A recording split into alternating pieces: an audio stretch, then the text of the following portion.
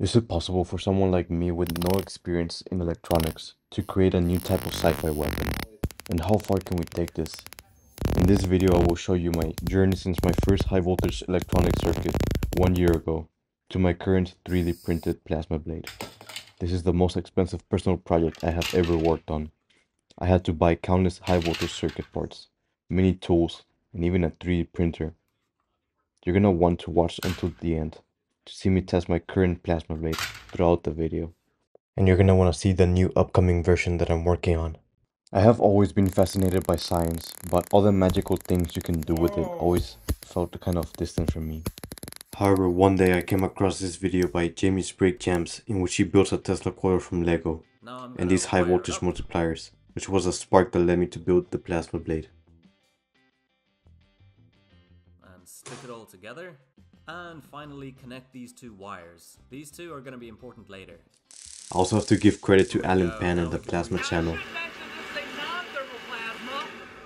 What that means is that in this case, it's not actually that hot, but it will still electrocute the mother-loving fudge. Oh! God damn it, it works. God, it's just the most gorgeous display of plasma I've ever seen. It's like a plasma force field. And the still frames are on a whole new level. There is one problem though. Their designs are complicated for an electronics noob like me and I wanted to make something more simple that looked cool. So I started buying the components to make the high voltage circuit and started testing to see what I could make. So I built my first portable taser and started electrocuting random things to see how the plasma behaves.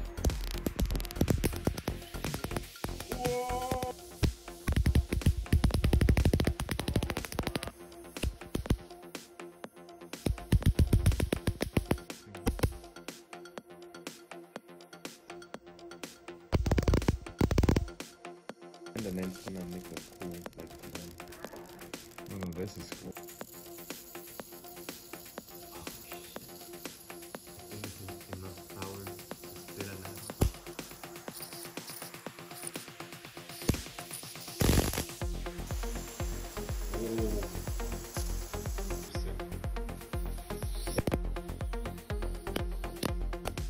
Then I realized that when you space the cables a certain distance, it creates a purple plasma called corona discharge.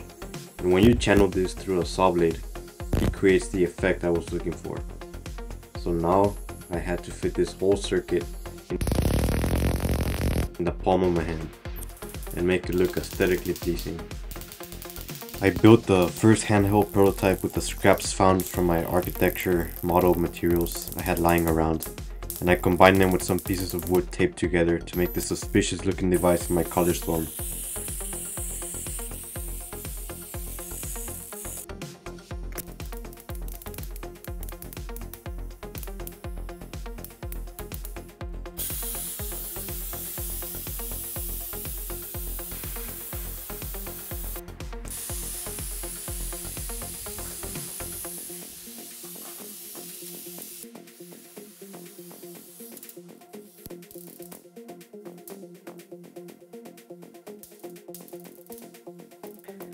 And now that I understood the mechanism, I bought a 3D printer and learned how to use it so I could print the handle. And as you can see, I designed countless prototypes digitally. This is the footage of my first 3D print ever, which is the handle I never used because it ran out of filament and it wasn't able to finish. And this was my second 3D print attempt at making the handle. Third time is the charm and this was the first 3D printed prototype I was able to make work. And with every attempt I got better at making sure that every fraction of a millimeter throughout the whole handle was perfectly designed so that it would work out. And then I had finally done it after 5 months of designing and prototyping and so many errors. With no experience I created the first 3D printed plasma blade. And by what I mean by first in the world is that as far as I know this is the first one that uses the corona discharge method, which is like a cold plasma that doesn't burn things, it just electrocutes you. Which was cool, but then I realized it sucked and I wanted to make it better. So I hopped back on Rhino and also bought new saw blades and started modeling until I came up with this design that I really like.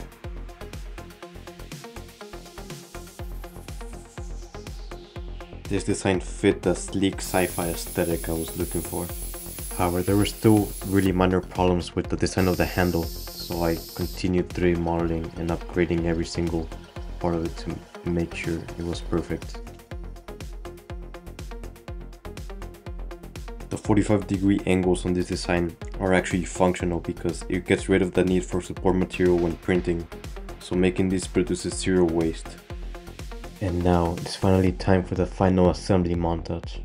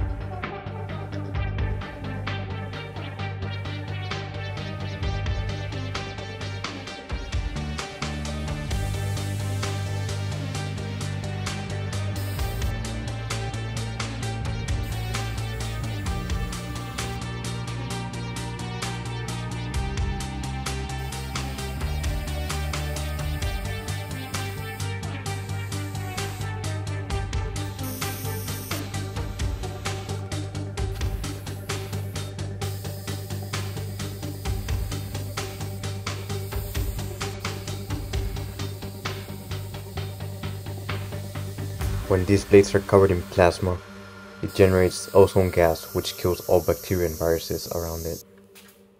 One morning I woke up to this big wasp inside my room, so the plasma blade was the quickest and easiest way to deal with it.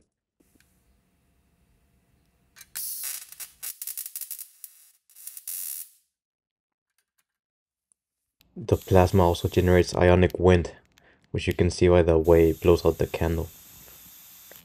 Another cool effect of these high voltage long blades is that it will interfere with radio signal.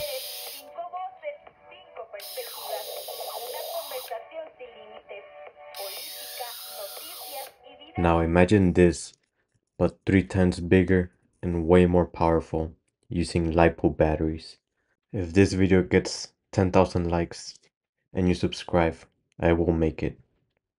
So please do it and comment and share so more people can see this and we reach the goal. Thank you for watching.